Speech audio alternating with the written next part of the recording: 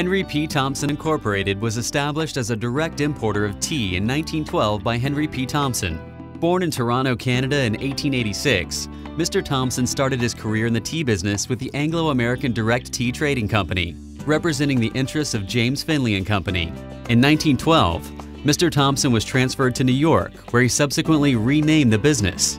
HP, as he was known in the trade, was an innovator, recognizing early on that tea was a complementary, not competitive beverage with coffee, and that the potential for iced tea sales were immense.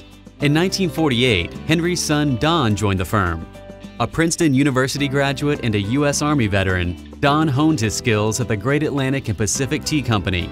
After his apprenticeship and growth under previous managers, Don Thomson assumed the position of company president in the mid-1950s Don established new contacts in up-and-coming tea-producing countries while maintaining associates in traditional origins.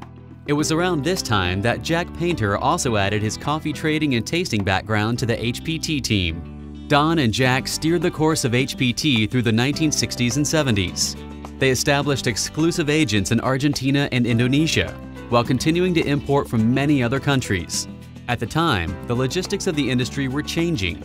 With the advent of ocean containers, the traditional method of purchasing small lots of tea packed in wooden chests was being replaced by the more efficient method of procuring 40,000 pound uniform bulked lots of tea. In 1984, Don Thomson's son-in-law Eugene Amici joined the firm. After graduating as a chemist from Lafayette College in 1978, Eugene enjoyed a successful career in the medical diagnostic industry.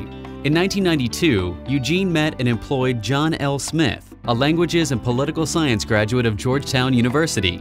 John started his career out of college with a trading firm that imported raw materials from South America to the nutraceutical industry. Fluent in Spanish and Portuguese with a keen interest and vast experience in international business, John was a perfect fit for HPT Incorporated.